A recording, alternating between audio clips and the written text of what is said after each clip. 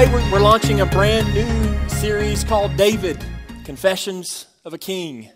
And I have been uh, just so ready to get to this uh, series because the life and the message of David that we see in 1st and 2nd Samuel speaks so much to my life.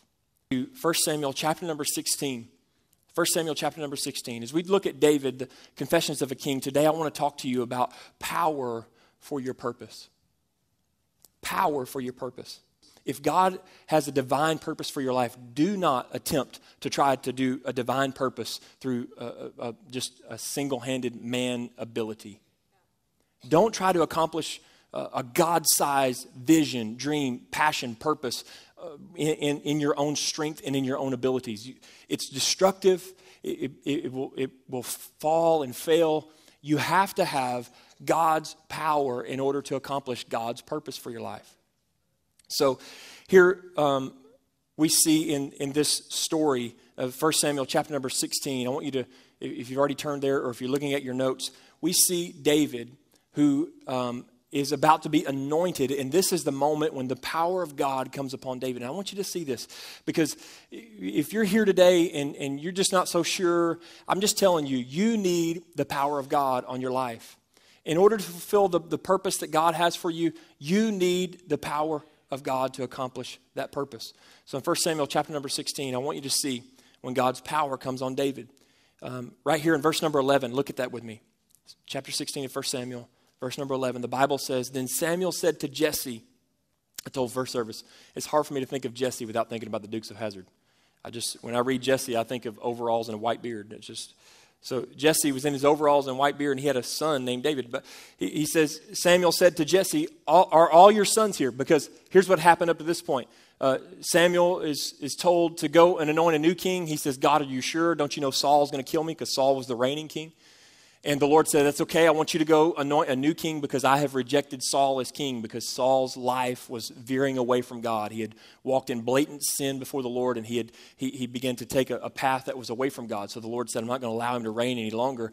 And I want a man that will be after me. So he told Samuel to go to the house of Jesse and anoint, the, anoint one of the sons.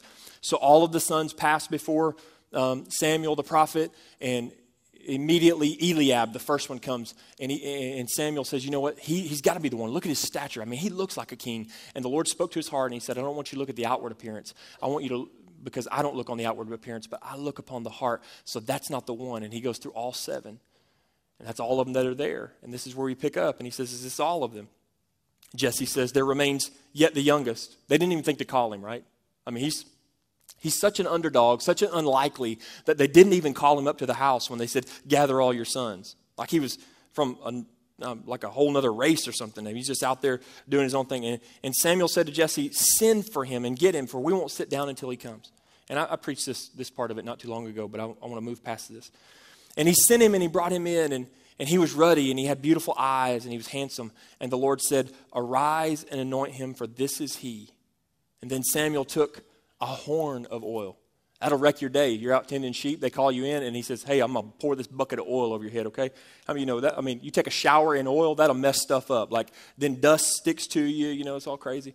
So that, that's kind of where they're at. But this pouring on of oil was, was symbolic of the Holy Spirit coming upon him. It, it, the Bible speaks of the, the oil, of air, uh, the oil uh, that ran down Aaron's beard. In other words, it's not just a little bit of oil, it is an, an encompassing of the oil all over you as it runs down your body. And it speaks of the power of God, the power of the Holy Spirit that comes upon someone. So here's David. The prophet comes to anoint him. Why did he anoint him? He's anointing him for a purpose that is to lie before him.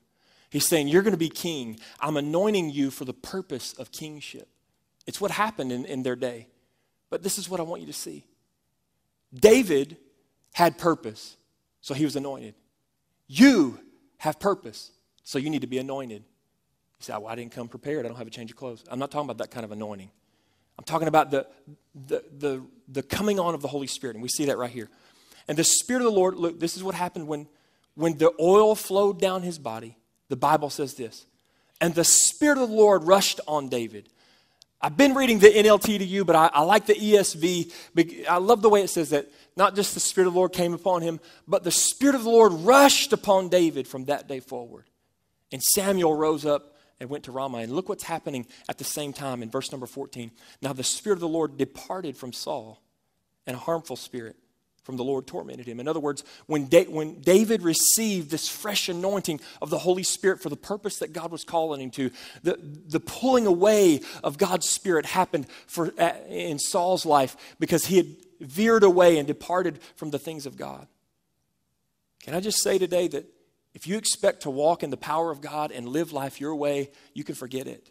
Listen, purity always precedes power.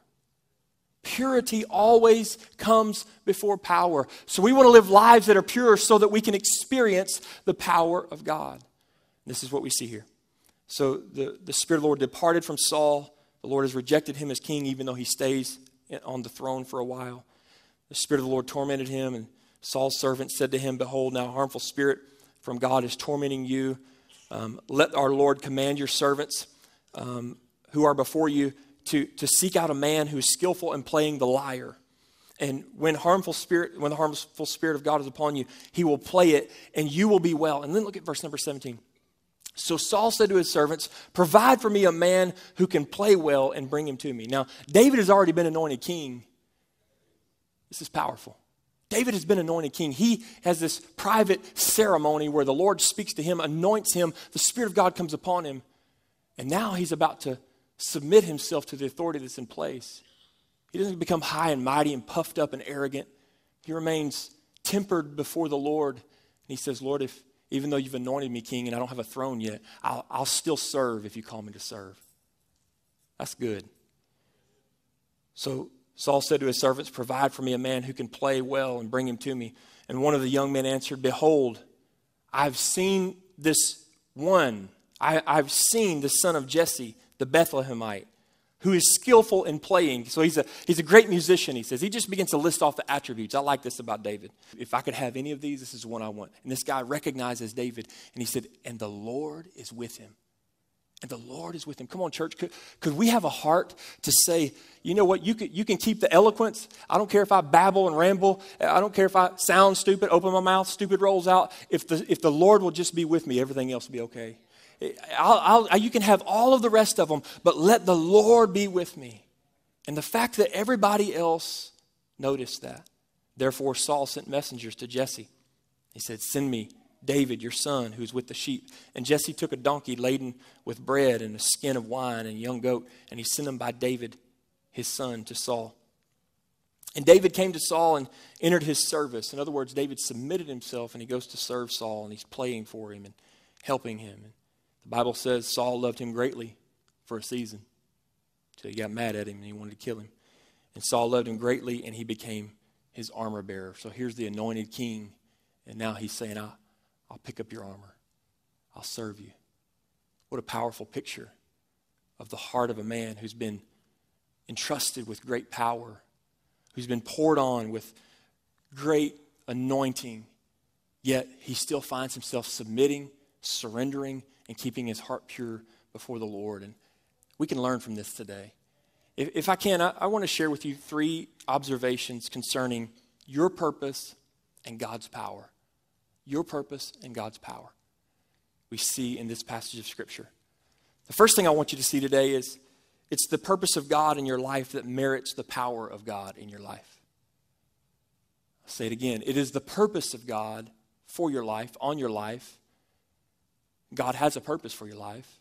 It's the purpose of God in your life that merits the power of God in your life. In other words, God has purpose for you, and to accomplish that purpose, you need His power to get there. Every person under the sound of my voice has a divine purpose, a divine calling, a divine ministry, a reason for which you exist outside of yourself.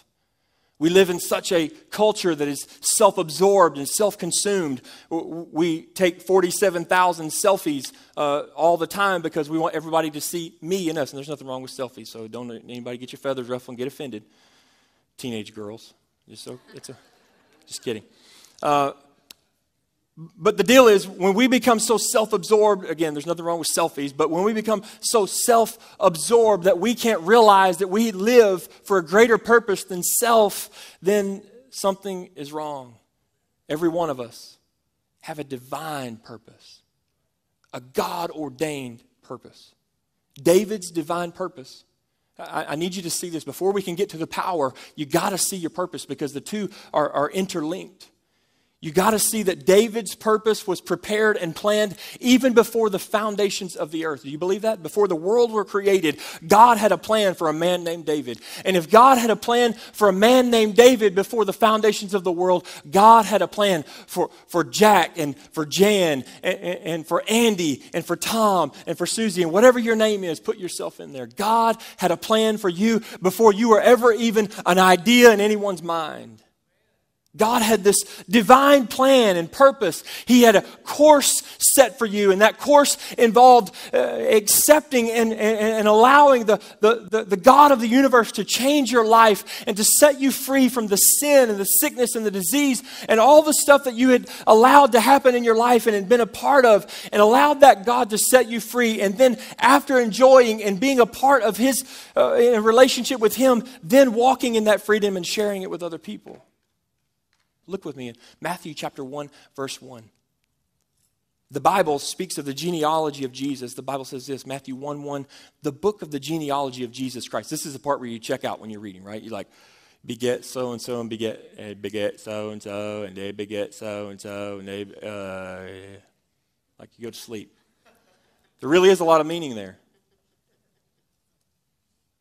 The book of, look at what it says the book of the genealogy of Jesus Christ the son of David, the son of Abraham. Okay, so David, a part of the genealogy of Jesus, the plan that God had to bring Jesus as the Messiah, the anointed one, into the world to save us from our sin, the message of the gospel. Don't you think that that message was prepared before the foundations of the world? That's what Ephesians 1 4 says. The Bible says in Ephesians 1 4, even as He chose us in Him, in who? In Christ, because of what Christ did for us. God chose us in Him before the foundations of the world, before anything was created. God chose us in Christ. Therefore, the Lord knew that Jesus Jesus would, would come. He had a plan to redeem mankind even before men had sinned. So the Lord chose us in Him before the foundation of the world that we should be holy and blameless before Him. God had this plan. It, it, the plan had this, this lineage, and the lineage of Jesus had David in it. As a matter of fact, when you look at the life of David, there's so many types and shadows that, that are a foretelling of Jesus. It's remarkable. So, what I'm telling you today is that David's divine purpose was planned just like your divine purpose was planned. I'm here to, to, before we even talk about power, to challenge you and help you understand today that we don't live life aimlessly drifting through as believers. Or we can. We can live mediocre and, and, and short of what God wants for us and would have for us, but the question that bears us all asking today is Am I living the purpose that God has destined for me to live? Am I living the purpose that I'm created for? Am I accomplishing the task that God has for me? Your divine purpose is before you and was created before the foundation of the world. The Lord said, I have a plan for you. 2 Timothy 1, verse 9 says this God who saved us and called us to a holy calling, not because of our works, but because of his own purpose and grace. Because of God's purpose and grace, he called us to this holy calling, not because of anything we've done, but because he desired to use us for his purpose. He had this purpose and he uses us by his grace, which he gave us in Christ Jesus before the ages began or before the creation of the world. That's a good word for somebody. Ephesians chapter 2, verse 8 the Bible says, For by grace you've been saved through faith, and this not of your own doing. It is the free gift of God. Aren't you thankful for that? Not a result of our own work so that anyone can boast, for we are his workmanship. Another version says, We are his masterpiece. The Lord has put us together and he's made us his masterpiece, created in Christ Jesus for, for what? For good works. We're created in Christ for good works. We're created with a purpose for good works. And then he goes on and he says, which God prepared beforehand, that we should walk in them. What does it mean, walk in them? The, the, NRSV says that they should be our way of life. These good works that God has prepared before the foundation of the world should be our way of life. We're not just drifting along, whatever happens, it's all about me. Let me see what's in it for me today. No, we live with purpose. God has a, a purpose for our lives, and it's more than living 60 or 70 years for ourselves and dying, because when we die, we will stand before a holy God and we will account for every word and every deed that we lived. So we live these good works as a way of life, not trying to earn salvation. You can't earn salvation, it's a free gift. But because of the free gift, now we live with purpose so that other people can experience the free gift. And the question that bears us asking today is where is someone else affected by the purpose of God for my life? Because God has called us to affect other people. It, it, it's, it's so much more than, than just us, and it's so much more than just our life.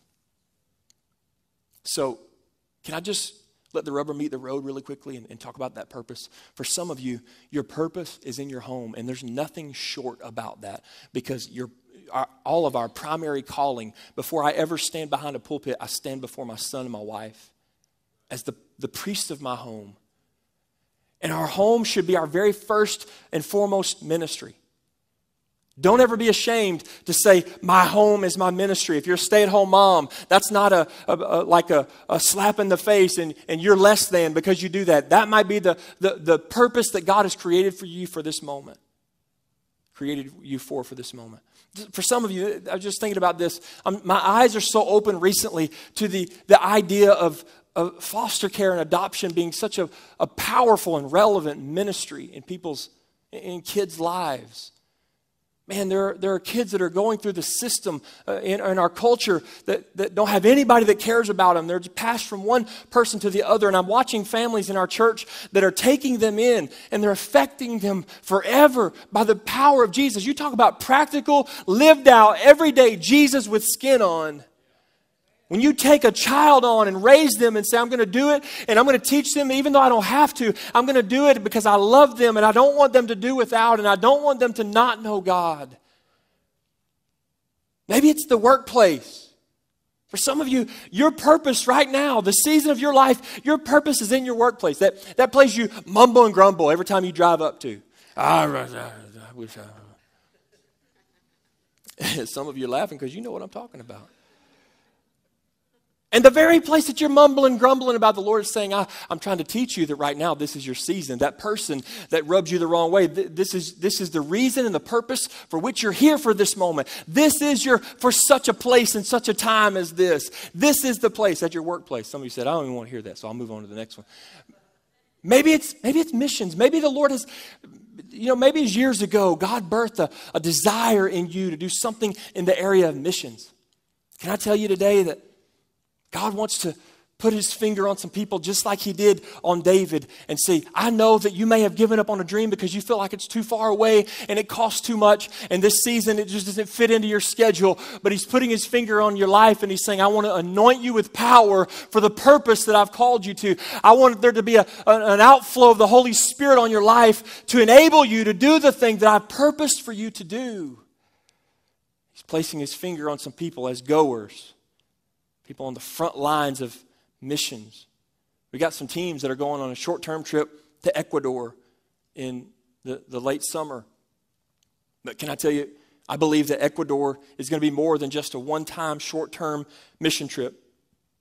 But I believe that Ecuador is going to be a place that we can invest in long term, that we can send people to long term. I'm, I'm seeing pictures of the missionary Shannon Pruitt there as he, as he is um, building churches on the sides of, of, of uh, volcanoes. And you see these Quechua Indians in the Andes Mountains, and, and they're making a difference in these people that have never even had their own copy of the Bible.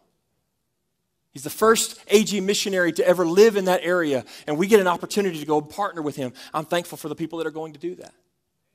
Thankful for the goers. I'm thankful for the people like Shannon and Susan, like Mike Luton, who we went to China with a, a couple years ago. Some of you, some of us will be senders.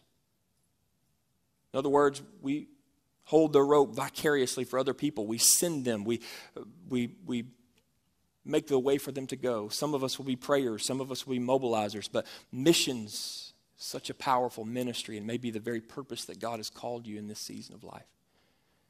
For some people in our church, powerful ministry to those who are incarcerated around our state. It's making such a difference in the lives of men and women who maybe at one time or another felt no hope or felt like nobody cared. It's powerful to see as men's and women's lives are being transformed by people going in and sharing the message of the gospel in very practical ways and teaching. And I'm so thankful for the men and women in our church who have made that such a, a priority because they believe that that is the, the purpose that God has them for in this season of life. And as they're doing that, there are times they say, Lord, I don't have what it takes. And the Lord is saying, I'll give you the power, just fulfill your purpose. Think about Celebrate Recovery on Friday nights, and I can't hit all of them. Listen, there's so many. I'm just throwing out some of them. Think about Celebrate Recovery. Maybe that's a, a place where the Lord is using you. There are people right here in this service who God is using in a powerful, powerful way on Friday nights and on Tuesday nights, leading groups as, as, they're, as they're walking with people who have come from life, lives and lifestyles of hurts and habits and hangups and, and addictions and struggles and, and, and brokenness. And they're seeing God set them free from all of that as they walk together with Him. How many of you know the Lord is the one who sets us free and is pretty pretty awesome when people come alongside and help us in that.